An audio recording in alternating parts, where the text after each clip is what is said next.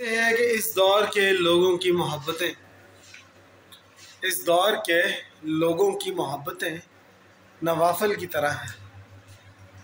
इस दौर के लोगों की मोहब्बतें नवाफल की तरह हैं।